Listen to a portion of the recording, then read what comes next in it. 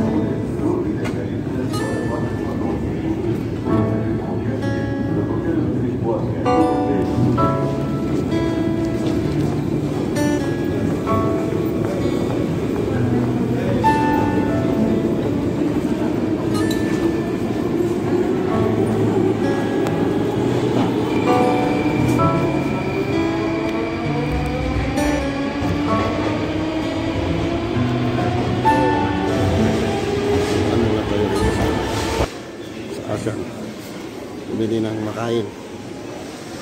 At vodka. Ayan. Ah, maglakad na tayong pauwi kasi umuulan. Ang hirap pagka ano ng taxi. Sa train station nga nag-order ako ng taxi. Pumunta naman doon sa kabila. Doon nag-antay. Ah, gusto niya, ako pa yung pupunta doon. Kaya kinansel ko at nag-metro na lang ako. Ngayon naman, dahil sa pag-cancel ko, may may penalty ako. 150 ruble. May dadagdag sa next na order ko sa taxi yun. So, ayaw ko lang mag-order ngayon na pauwi ng taxi actually medyo malayo lang konti lalakarin pero mas gusto ko na maglakad naka pamili na naman ako ng ano. May luluto ko ngayon so saka yung vodka. Habang magluluto, tagay. Pampalis ng pagod sa buong oras na nag-travel. Okay. Okay. Nandito na tayo. Oh my goodness. I'm so pagod. God. Oh God. Oh.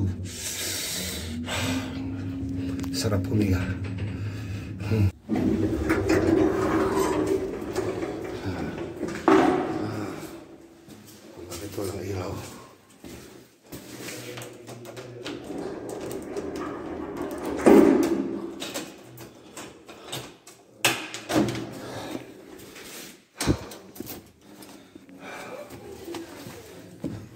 Takes it all.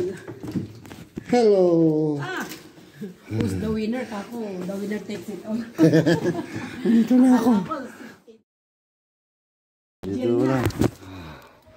Home sweet home.